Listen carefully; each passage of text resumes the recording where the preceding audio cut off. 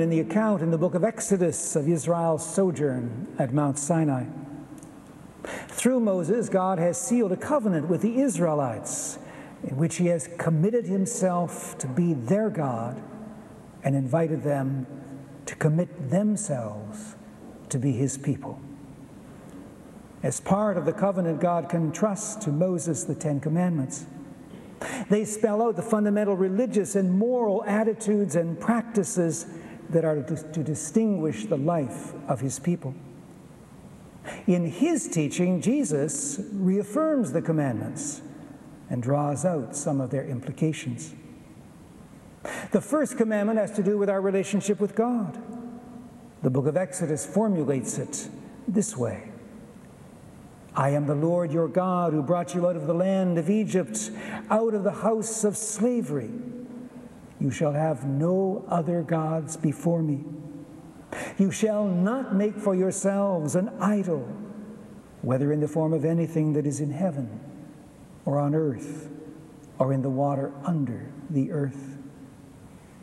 In response to the temptation of Satan, Jesus evokes the same commandment when he says, Worship the Lord your God and serve only him. When asked later in the Gospels, which is the greatest commandment, Jesus quotes Deuteronomy Hear, O Israel, the Lord our God, the Lord is one. You shall love the Lord your God with all your heart and soul and mind and strength. The great affirmation of the Bible is that the Creator God reveals himself in the story of Israel and in the life of Jesus as a God of liberation and salvation, a God who calls people into relationship with him. This relationship is often expressed in the language of covenant, whether it be the one that God sealed with Israel through Moses at Sinai, or the new covenant that he made with us in Christ. In both cases, we are called to live in ways that correspond to the relationship that has been established. That means keeping the Ten Commandments. And for us, trying to live according to the teaching and example of Jesus.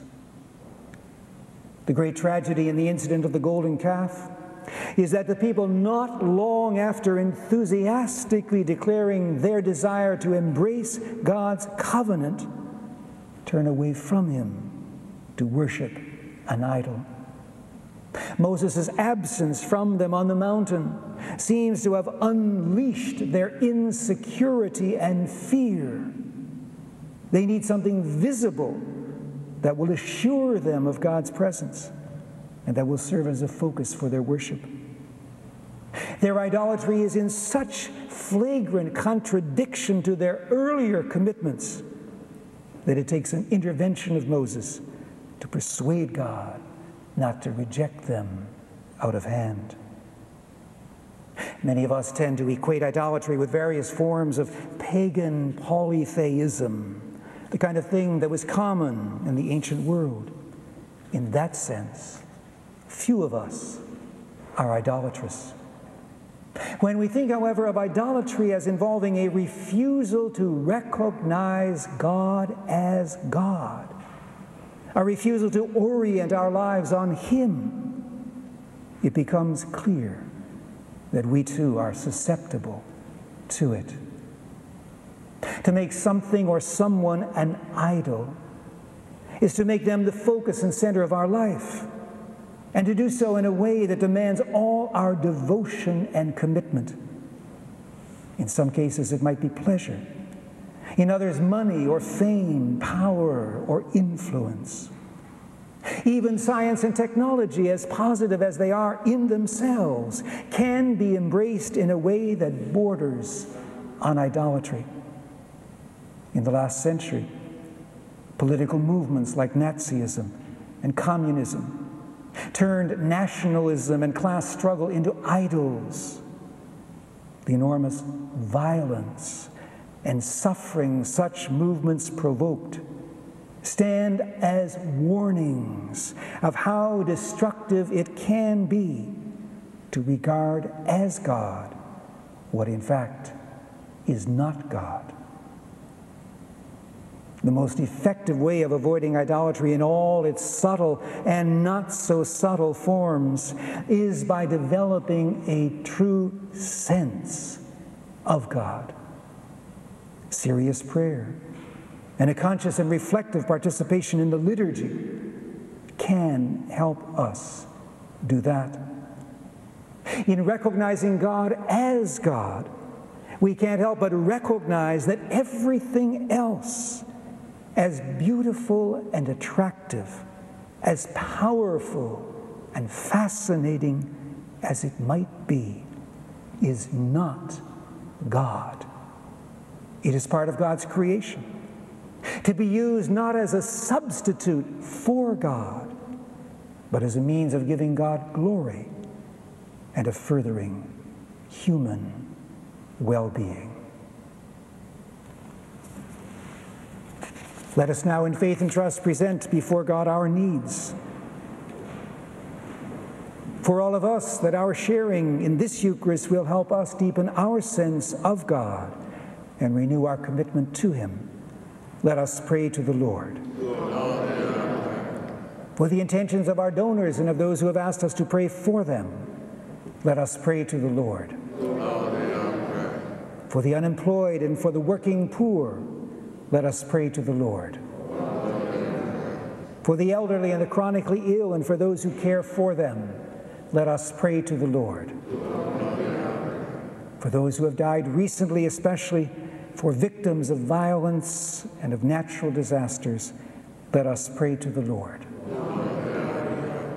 Gracious God, we ask you to hear and grant these prayers as well as the more personal ones that each one of us has in his or her own heart all this we pray through Christ our Lord.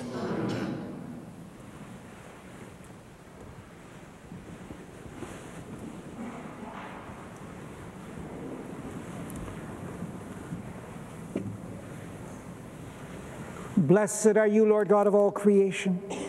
Through your goodness, we have this bread to offer, which earth has given and human hands have made.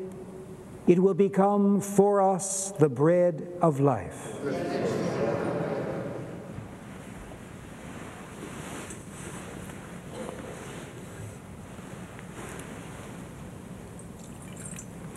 By the mingling of this water and wine, of divinity, our humanity.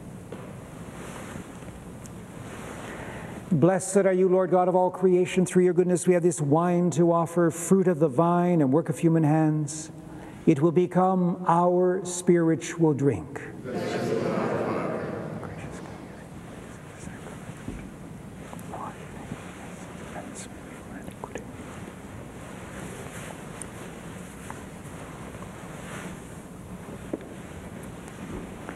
Pray, my sisters and brothers, that our sacrifice may be made acceptable to God, the Father Almighty.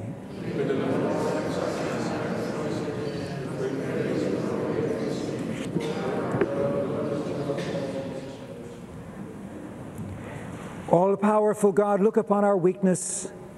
May the sacrifice we offer bring us purity and strength. We ask this in the name of Jesus the Lord. Amen. The Lord be with you. Lift up your hearts. Let us give thanks to the Lord our God. Father, all powerful and ever living God, we do well always and everywhere to give you thanks. You ask us to express our thanks by self denial. We are to master our sinfulness and conquer our pride.